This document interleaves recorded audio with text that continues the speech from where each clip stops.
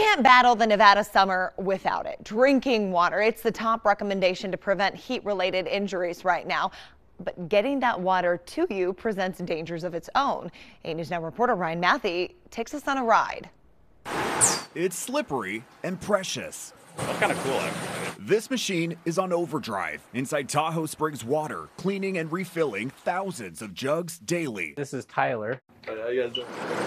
Drivers get an early start to load up and on, no matter how it's packaged. You're probably doing anywhere from 10,000 to probably 20,000 steps. Kevin Roman says it's also to avoid a sizzling reality. I already see you sweating. Yeah. And we are working in the shade. Yes. so you're thinking it's going to get worse throughout the day. You know, it's it's typically just kind of part of the gig. And then 12 of these trucks hit the street, each one holding upwards of 5,000 pounds of water. Each one of these jugs, 50 pounds of water. And he says you feel it all the more in extreme heat. The routes change daily, but the heat stays constant. The bulk of it done the sooner you can. Customers are as central as the Las Vegas Strip to as distant as Beatty. Roman had over 70 deliveries on his Henderson route on Friday.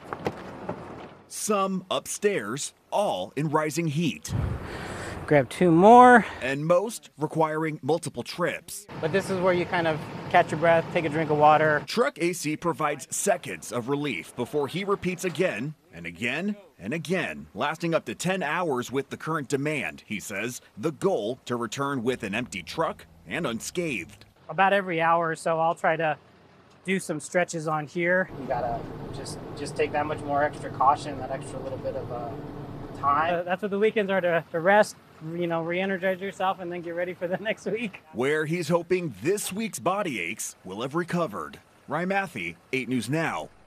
Boy, no kidding, those are heavy. You can imagine the demand for water right now. He calls summer the busiest time of the year, adding the average time he gets back to the warehouse and then starts unloading those empty bottles is usually the hottest time of the day.